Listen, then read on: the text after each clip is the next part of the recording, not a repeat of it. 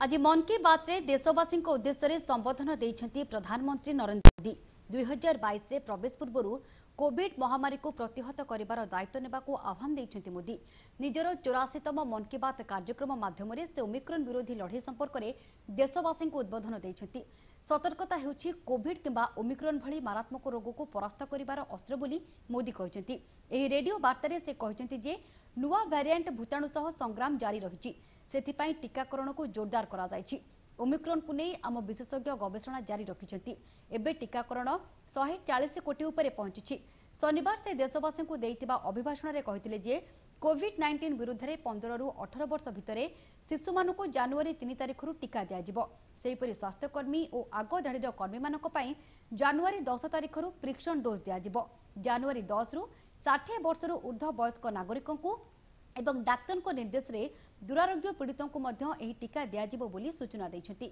सहित मोदी हेलिकप्टर दुर्घटन शहीद वायुसेनार ग्रुप कैप्टेन वरुण सिंह को श्रद्धाजलि अर्पण कर तो वैक्सीनेशन के जो आंकड़े हैं, उनकी तुलना भारत से करें तो लगता है कि देश ने कितना अभूतपूर्व काम किया है, कितना बड़ा लक्ष्य हासिल किया है।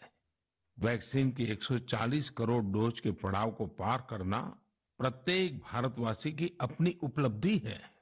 ये प्रत्येक भारतीय का व्यवस्था पर भरोसा दिखाता है, विज्ञान पर भरोसा दिखाता है, वैज्ञानिकों पर भरोसा दिखाता है और समाज के प्रति अपने दायित्वों को निभा रहे हम भारतीयों की इच्छा शक्ति का प्रमाण भी है। लेकिन साथियों, हमें ये भी ध्यान रखना है कि कोरोना का एक नया वेरिएंट दस्तक दे चुका है। पिछले दो वर्षों का हमारा अनुभव है कि इस वैश्विक महामारी को परास्त करने के लिए एक नागरिक के तौर पर हमारा खुद का प्रयास बहुत महत्वपूर्ण है। ये जो नया ओमिक्रॉन वेरिएंट आया है, उसका अध्ययन हमारे वैज्ञानिक लगातार कर रहे हैं।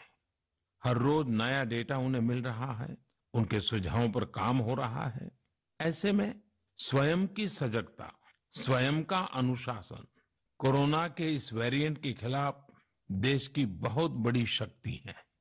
हमारी सामूहिक शक्ति ही कोरोना को परास्त करेगी। इसी दायित्व बोध के साथ हमें 2022 में प्रवेश करना है।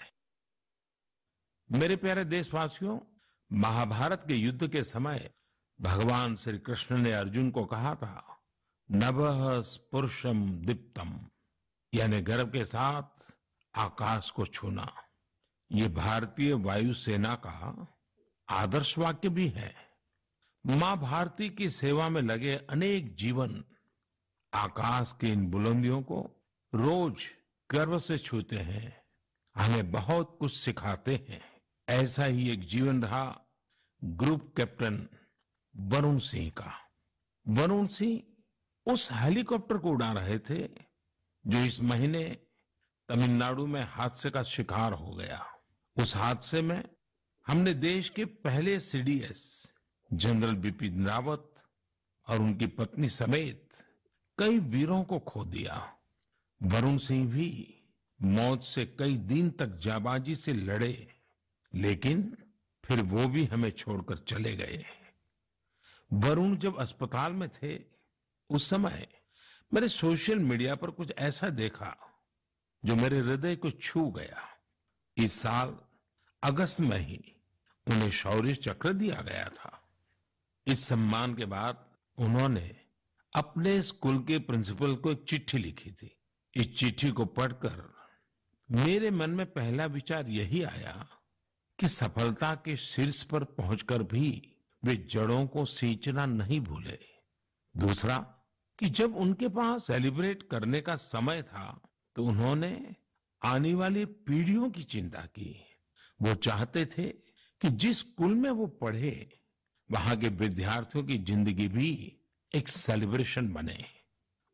अपने पत्र में वरुण सिंह जी ने अपने पराक्रम का बखान नहीं किया, बल्कि अपनी असफलताओं की बात की। कैसे उन्होंने अपनी कमियों को काबिलियत में बदला, इसकी बात की।